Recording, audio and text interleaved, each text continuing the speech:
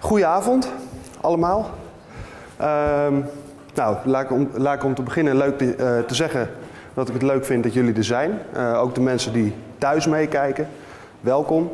Eh, mijn naam is Gerrit Hopster. ik ben eigenaar van een online marketingbedrijf dat ik heb genoemd de digitale regio.nl. En daarin zit eigenlijk verpakt wat ik doe.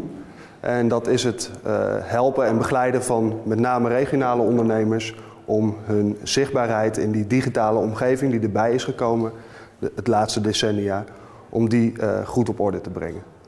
Nou, een onderdeel daarvan uh, is, nu zou ik verwachten dat hij mooi zou springen.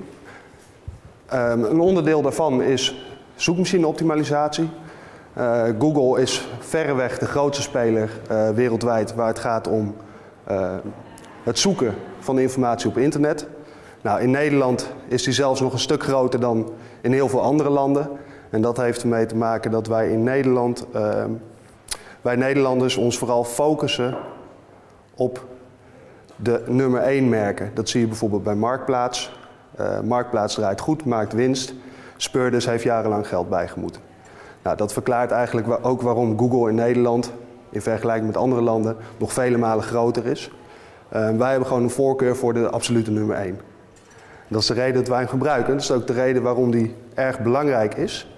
Um, ik zie hier trouwens één moment hoor, want ik zie dat die presentatie. Hij is wat verder ingesprongen dan dat ik bedoeld heb. We zouden namelijk hier verder gaan. Want waar ga ik het over hebben? Um, waar gaan wij het over hebben? Nou, dit loopt niet soepel. Dan ga ik, doe ik afstand van de muis.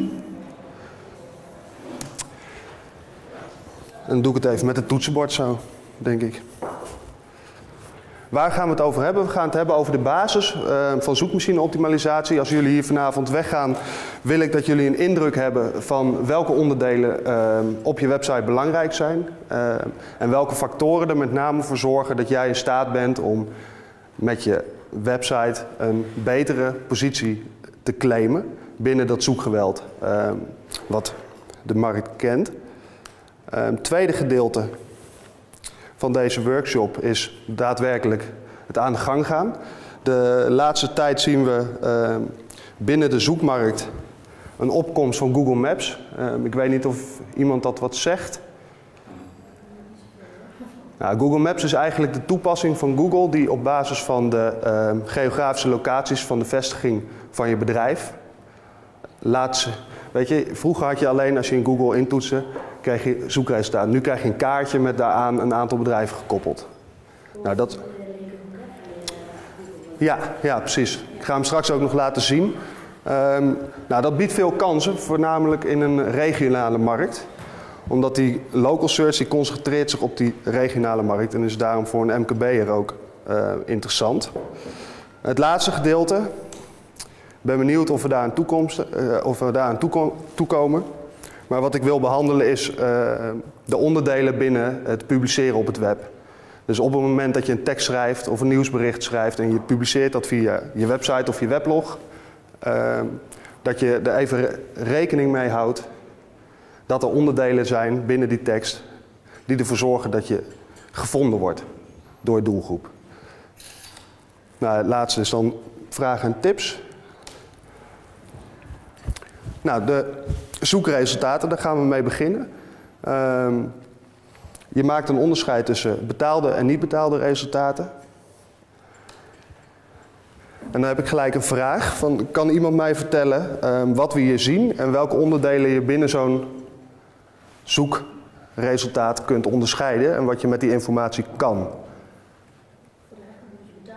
Voor de rechterkant. Ja? Mm -hmm, heel goed, inderdaad. De rechterkant zijn uh, de Google AdWords advertenties, die de meeste mensen denk ik ook kennen. Daar betaal je op een zoekopdracht. En op het moment dat iemand klikt op die advertentie, betaal je daar een voorafgesproken bedrag voor. Je biedt daarop als het ware. Maar er zit nog een, vind ik zelf wel een interessant onderdeel op zo'n pagina. Hij geeft je namelijk ook waardevolle informatie over het concurrentieveld waarin jij je bevindt.